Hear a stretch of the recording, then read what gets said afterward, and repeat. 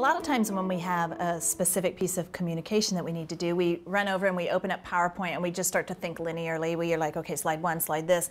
I'm going to go grab six slides over here, two from this deck, two, and we Frankenstein this thing together and we jump up and then we present. And we think that that's effective communication, and it's not.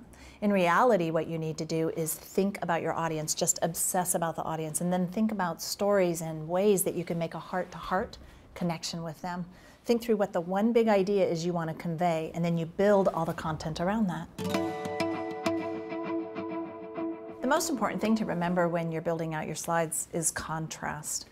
You need to prioritize for the audience the order in which they're to process your information. So you got to think about how their eye is going to flow across the information. What's the most dominant thing? So what's primary, what's secondary, what's tertiary information?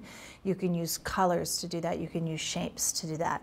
But you need to simplify everything because if you think about the concept of contrast, you could think about its opposite, which would be camouflage, right?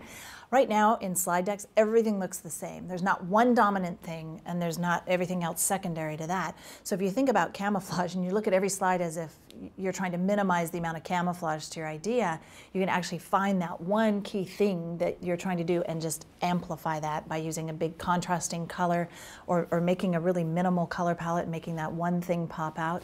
Um, it's really important that it pop, the one idea. So every slide should have one big idea and you need to make sure visually that that one big idea is amplified and not lost in the mire of your speaker notes. One of the things that's happened is we use PowerPoint uh, two ways.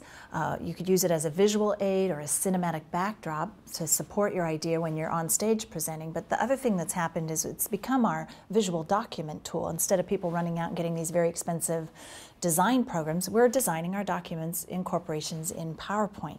But the fly, and that's great. You could use it for your cinematic, you could use it for your um, documents. But the problem is we're in this weird blurry in between thing where it's kind of this mix between a document, a teleprompter thing, and it's got tons of text.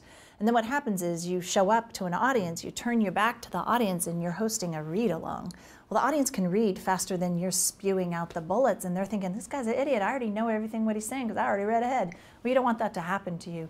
So you want to make sure you're either, either using it as a visual aid or as a document. If you're choosing to put a ton of words on it and you're choosing to use it as a document, distribute it as a document, talk about it as if it's a document, but don't stand up and present your documents to an audience.